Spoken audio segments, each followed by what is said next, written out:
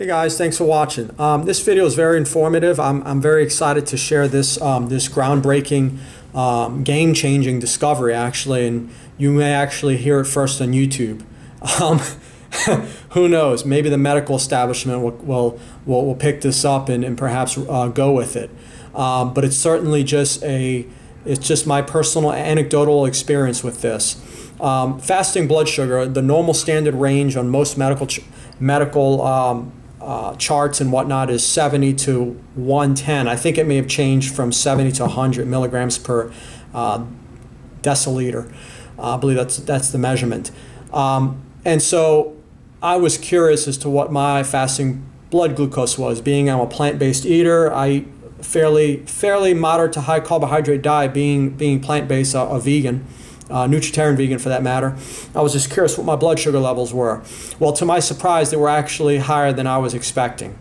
Um, and this was maybe a month ago I when I started in September. Uh, it is now October. We're talking one time it was 88, the other times it was in the 90s. Now I know that's normal, but that's high normal. And I was just like, you know, what's up with that? Why is it, you know, I'm doing everything. Okay, so I thought I was doing everything right, and, and I pretty much was, except one thing. Now, for me, this is anecdotal. This has worked unbelievable. My blood sugar this morning was 70. Uh, the morning before, I think it was 76. Um, and it's been steadily just stabilizing really good. And uh, I think the highest it was was 88. Um, now, the thing that's allowed it to drop that way and to be that way for the last for this last week or, or two has been nighttime eating.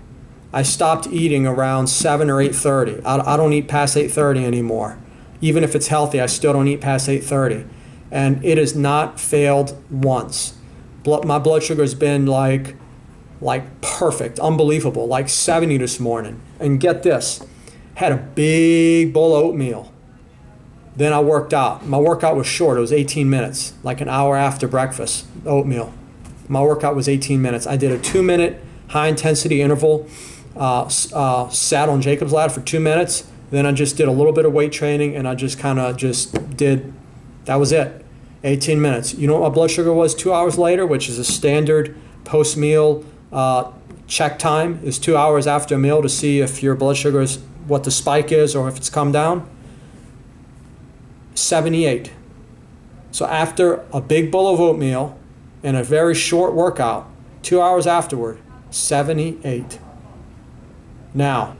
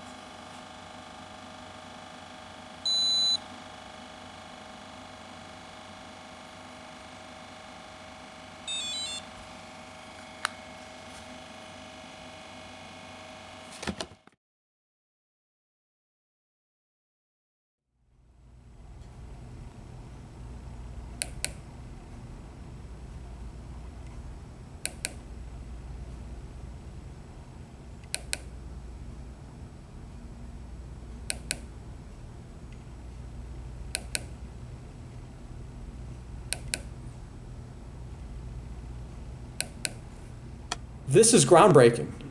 Um, I've, I've looked at other videos, I've looked at online articles. None of them talk about nighttime eating. None of them talk about cutting, cutting off uh, eating time and how that can affect blood sugar. Please look at the bottom of this video. I'm going to list studies. So I have evidence. So it's not just like a bunch of like little links and, and stuff like that and kind of like get kind of get your money, trying to get your money. I've got science to support this. Um, it's a shame that this video may not get a lot of views because I'm giving an unbelievable natural solution to lowering fasting blood sugar. And that is to cut nighttime eating. Now, what's this research say? What's the premise to this? Well, I, I, I had a hypothesis before I tested this, this theory out. The hypothesis was based on the research and evidence that I've read that we're more insulin resistant in the evening. It has to do with circadian rhythms. It's like our biological clock. Okay? So.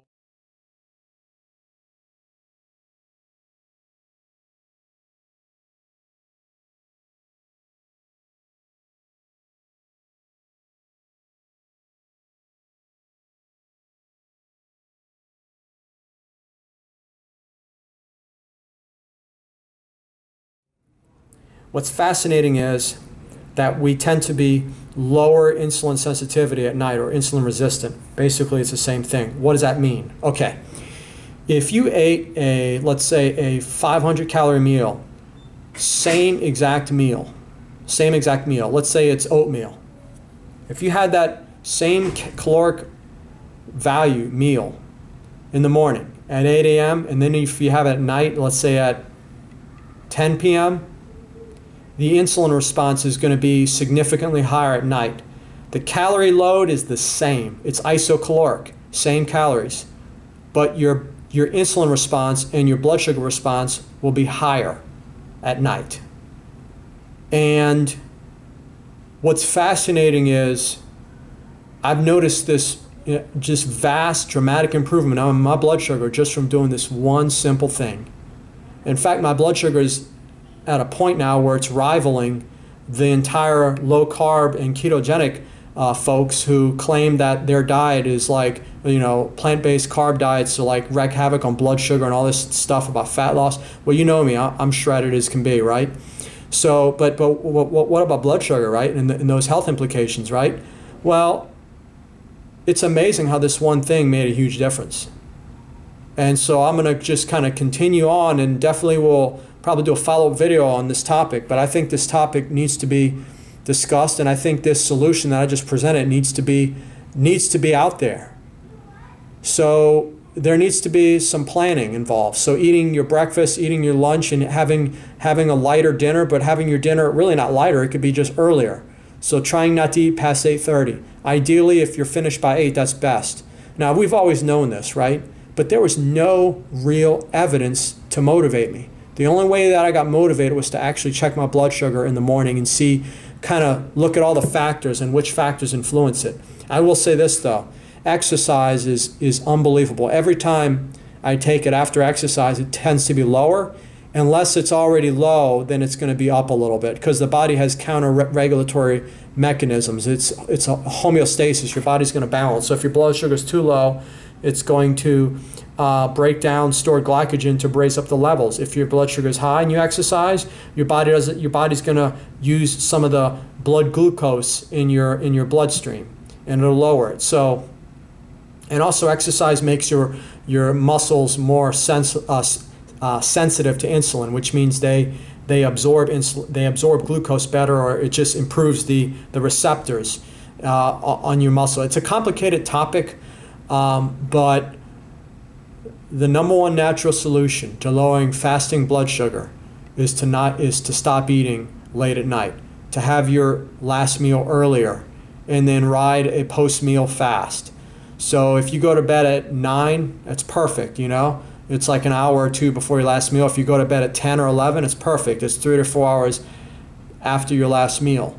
Um, now you're not going to be. It's not going to be perfect. Not every night you'll be able to do that or whatever, but if if this is tried and, and practiced for most nights of the week or, or, as much as possible, if this is made a rule, um, it'll work. Uh, it's been working for me, and it's just I'm just astonished at how significant. I mean, it's it's like it's almost too good to be true. I'm like I can't believe I was able to reduce it that much just by this one little thing. So anyhow, thanks for watching. And uh, I'm sure this video will help and, and feel free to leave comments and questions below.